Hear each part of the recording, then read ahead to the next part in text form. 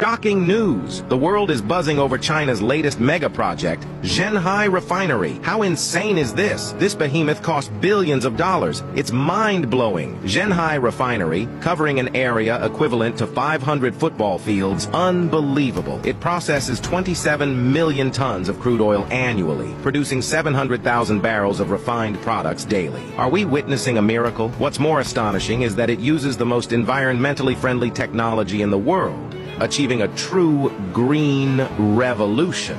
The construction was a colossal challenge, built in a high seismic area. Can you imagine the difficulty faced by these engineers? Thousands of people poured their sweat and wisdom into this project, overcoming every obstacle and completing it on time. It's a peak of human engineering. It not only enhances China's energy security, but also accelerates regional economic growth. Such a massive project. Can you imagine the story behind it? Let's dive in.